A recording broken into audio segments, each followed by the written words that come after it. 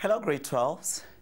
In this video, we are going to learn how to determine the equation of a circle where the origin is the center of the circle. Let's have a look. Remember that a circle is a set of points which are equal distances away from a fixed point, the center of the circle. The distance from the center to any point on the circumference is the length of the radius. Remember that the distance around the circle is the circumference. We are now going to have a look at the circles where the center is the origin. In other words, the center has x and y coordinates of 0, 0. The equation of the circle with the center 0, 0 is x squared plus y squared equal to r squared, where the radius is the distance from the center to any point on the circumference of the circle. Let's have a look at a few examples on how to determine the equation of a circle if the origin is the center. Determine the equation of the circle with center, the origin, and a radius of 5. Remember that whenever we use a formula, we always write it down. In this case, we will use x squared plus y squared equals to r squared because the center of the circle is at the origin. We were given the length of the radius, so we can substitute r with 5. Therefore, the equation of the circle is x squared plus y squared equals to 25. That wasn't too difficult. Let's take a look at another example. Why don't you try this one before looking at the answer? Determine the equation of the circle with center the origin passing through the point s negative 4, negative 2 in this case, we have values for x and y. x is negative 4 and y is negative 2. We need to use the formula to find the equation of the circle.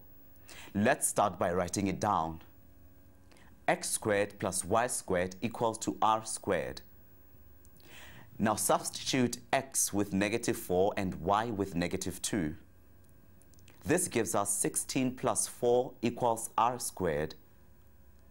Therefore, 20 is equal to r squared. Therefore, the equation of the circle is x squared plus y squared equal 20. Didn't you find that easy? Now let's try something more challenging. In the next example, we are given one coordinate and the equation of the line.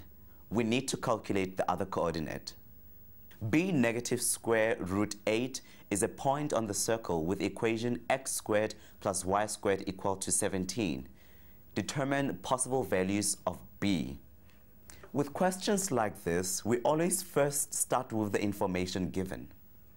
x squared plus y squared equal to 17. We also know that the value for x is b and the value for y is negative square root of 8. Now let's substitute this information into the given equation.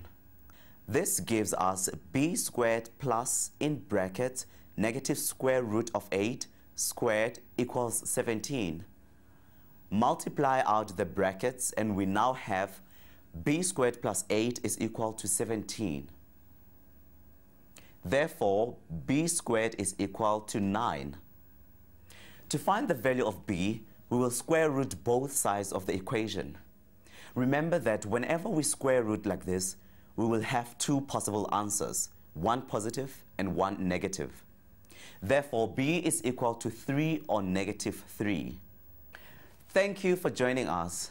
Practice what you have learned by trying to do the questions on our task video on advanced analytical geometry. You'll also be able to learn more about analytical geometry on our website www.mindset.co.za forward slash learn. Goodbye.